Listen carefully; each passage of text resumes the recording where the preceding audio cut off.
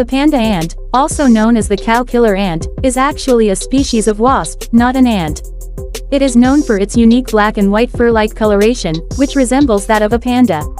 Despite its name, the panda ant is not known to be particularly aggressive towards humans.